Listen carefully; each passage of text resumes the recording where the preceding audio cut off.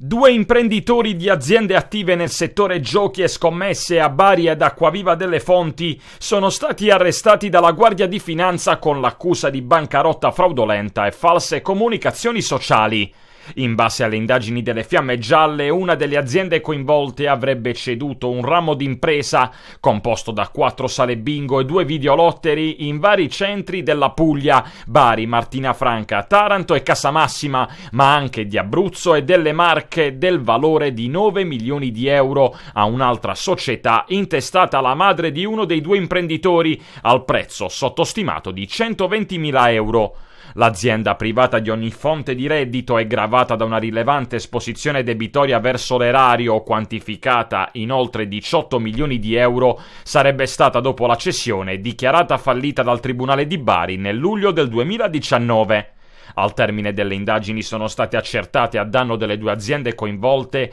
la distrazione e la dissipazione di beni societari per un valore complessivo di oltre 8,6 milioni di euro. Il GIP inoltre ha evidenziato che uno degli indagati, nonostante vi fossero difficoltà nel pagare gli stipendi dei dipendenti, avrebbe sottratto dalle casse societarie circa 7.000 euro per giocare alle macchinette nella sala slot di una delle aziende coinvolte.